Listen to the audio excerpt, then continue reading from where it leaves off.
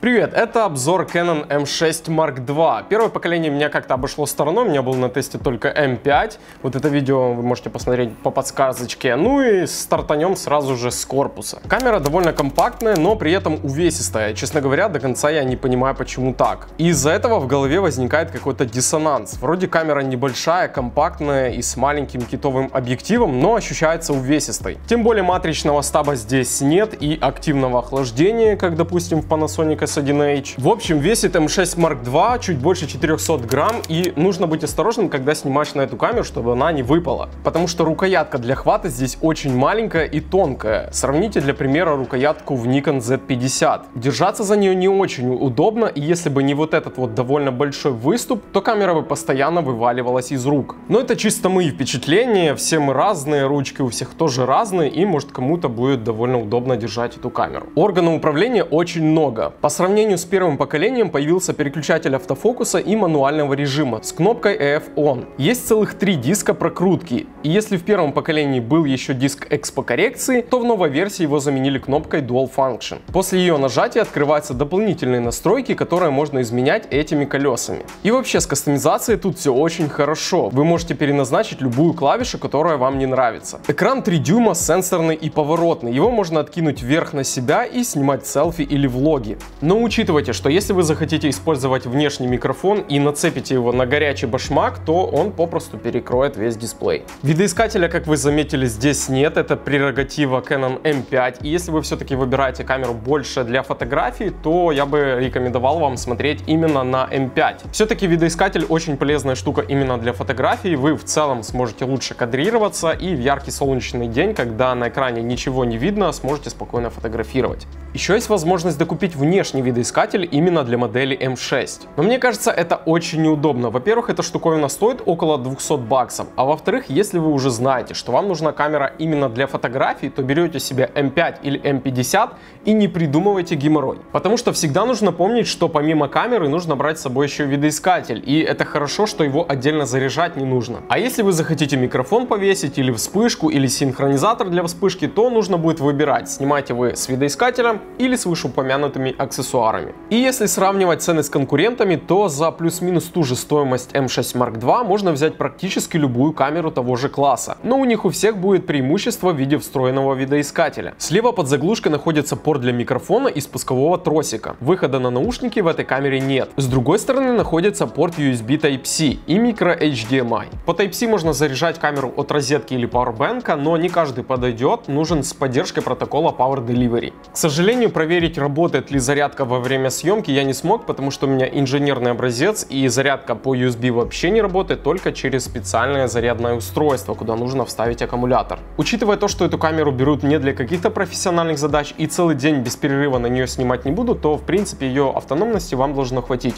У меня получилось отснять около 200 кадров и плюс-минус 5 минут 4К видео, и при этом ни одно деление заряда батареи не упало. Хотя по спекам обещают всего 305 снимков от одного аккума. Кто-то в Canon решил, что 24 мегапикселя недостаточно в такой маленькой камере, и в M6 Mark II установили новую матрицу на 33 мегапикселя. Не знаю, зачем они это сделали, но это пошло на пользу, как минимум светочувствительности матрицы. Ну и, наверное, еще новый процессор немного зарешал. Потому что на 3200 можно вообще спокойно снимать, да и на 6400, если сильно надо. А теперь вспоминаем, что эту камеру будут в основном покупать для фоточек в Instagram, другие соцсети или для публикации на сайте и вообще забываем о том, что нужно париться по поводу ISO. Просто после покупки и распаковки этой камеры устанавливаем светочувствительность на авто и забываем напрочь про этот параметр. Но все равно Instagram пожмет сильно фотку при публикации, так что какая бы она качественная не была, так что, блин, в этом нет смысла, короче. Ну и опять же, не забываем, что здесь есть все вот эти вот магические кэноновские цвета, и что прямо из коробки вы сможете получать супер классные красивые снимки. В общем, для тех, кому Canon желтит, а Nikon зеленит, и кто не умеет цветокорить,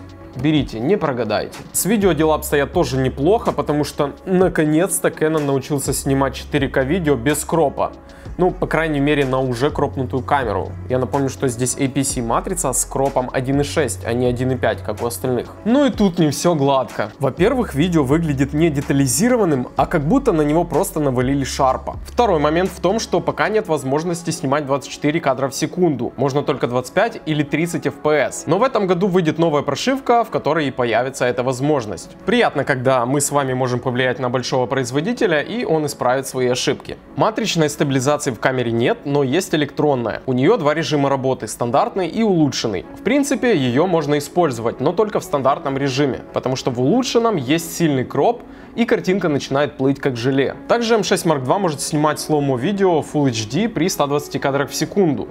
Я смогу снимать классные слоумо ролики, можете подумать вы. А вот и нет. Слоумо не работает ни стабилизация, ни автофокус и даже звук не записывается. Но спасибо хоть ручные настройки оставили. Привет, Panasonic. Скорость серийной съемки аж 14 кадров в секунду. Это больше, чем у Sony A6100 и Nikon Z50. У них по 11 FPS. Но при этом меньше, чем у Fuji X-T3. Там можно стрелять скоростью 30 FPS.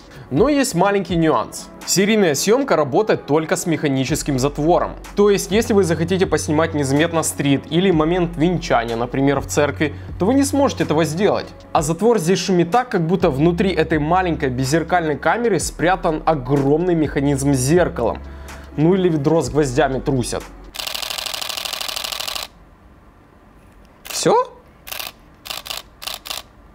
Dual Pixel работает, конечно, хорошо. К тому же они добавили сюда распознавание лица и даже глаз, что для влогинга и селфи вообще must have. В режиме трекинга нет никаких рывков и прыжков автофокуса. Даже если объект передвигается, то фокус переводится плавно. Но вот я не могу понять одного. Как вы знаете, в камерах Canon можно настраивать скорость и точность автофокуса. Но здесь это работает только в режиме съемки по одной точке. То есть, когда вы снимаете в режиме с распознаванием лица, влог вы, допустим, снимаете, то выбрать скорость, с которой автофокус будет наводиться, нельзя. Мне все-таки кажется, что эта камера идеальна именно для блогинга. Неважно, это фото для Instagram или видео на YouTube. Потому что если вы уже хотите более-менее заниматься фотографией, то нужен видоискатель, а здесь его нет. А так не напряжно взять эту камеру с собой в сумку и в случае чего вы сможете сделать классную фотку с качеством лучшим, чем у смартфона, с бакеха и всем вот этим вот. А для влогинга здесь есть поворотный дисплей, 4К видео и хороший Dual Pixel автофокус. Но останавливая свой выбор на беззеркальной камере Canon, помните, что оптики под нее не так уж и много.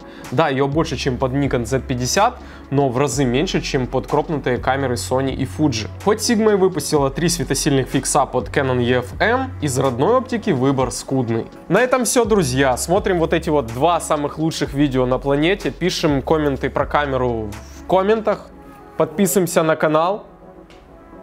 Это, я не знаю, ну вот как можно не подписаться на канал? На наш. Вы вот на другие каналы подписываетесь, да? А на наш почему нет? Надо. Первоочередно подписка на кадр. Жду, проверю. Все, пока.